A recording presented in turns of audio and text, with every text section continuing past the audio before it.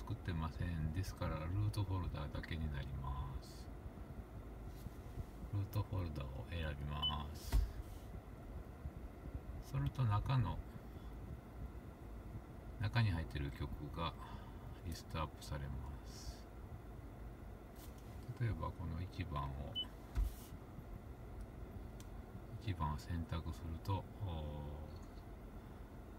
の曲が